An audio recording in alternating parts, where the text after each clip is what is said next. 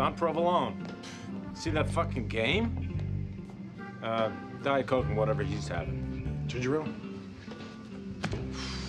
Remind me to send Jeter a dozen roses. You want to parlay it? I was thinking I'd go check out that Indian casino, play some poker. You want in a real game, I'll hook you up. High stakes, exclusive clientele. David Lee Roth. I tell you, man, playing cards, games of chance, I never really dug it before. I was never that good at math, but there's something about that excitement that's so. I don't know. What is wrong? I win one bet, you look like you're gonna cry? I fucked up again. My super came by this morning, fucking corker on the toilet.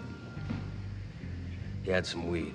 You have gotta call someone before you use, not after. I know, I know. I just wanted to see if I could get high like a normal person. You're not normal. Neither of us are. And on top of that, you asked me to meet you at a bar?